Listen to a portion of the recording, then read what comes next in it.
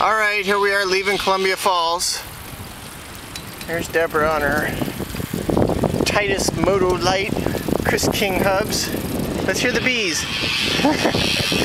angry bees, angry bees. Beautiful country out here, passing some country houses. More horses than people. More horses than people.